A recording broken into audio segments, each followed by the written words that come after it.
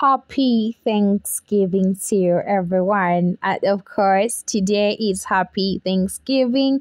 And of course, we all know that Mariah Carey has that gorgeous voice, and she sang that I just wanna close my eyes. Of course, we are in Christmas season festival, and we all know that Christmas happens once in a year. That's twenty 5th of December. And today is happy Thanksgiving to everyone. Don't forget to subscribe, like, share, and also do leave a comment. She was representing, she was singing in that gorgeous, amazing, beautiful voice. And of course, she nailed it. As you can see, it is green, white, and red.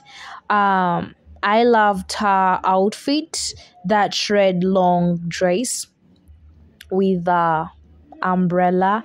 It was very gorgeous and happy Thanksgiving, grateful and so proud and of my beautiful kids. Grateful for the presentation and for the precious moment in life. That was the caption of Mariah Carey.